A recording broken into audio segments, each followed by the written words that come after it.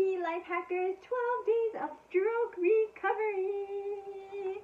On the first day of stroke recovery, my OT assessed my range of motion, strength, balance, coordination, and sensation for doing my ADLs. On the second day of recovery, my OT me gentle, partial, passive range of motion to mimic scooping food.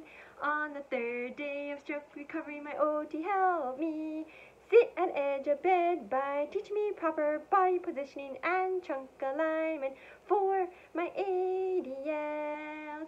On the fourth day of recovery, my OT taught me visual scanning while eating and drinking to reduce left neglect.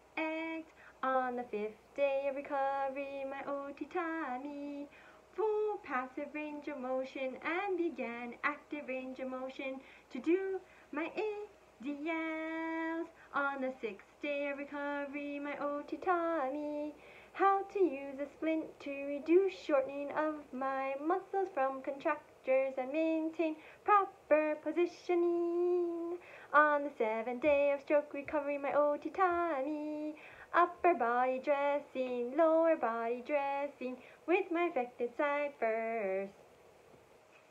On the eighth day of recovery, my OT me safe toileting and grooming to and from the bed using a front wheeled walker. On the ninth day of recovery, my OT me how to transfer safely to and from the tub bench so that I do not fall. On the tenth day of recovery, my OT had taught me exercise to strengthen my affected arm so that I can independently independently brush my hair, teeth, and everything else. On the 11th day of recovery, my taught me constraint-induced movement therapy with my functional arm covered so that I can only use my affected arm for ADLs.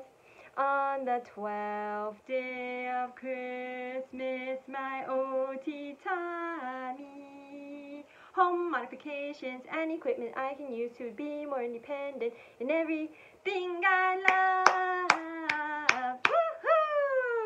Now remember, it doesn't go exactly like this, but this is just a little gist of what some of the activities that OTs do with patients look like. Bye bye! OT Life Hacker out. Like and subscribe.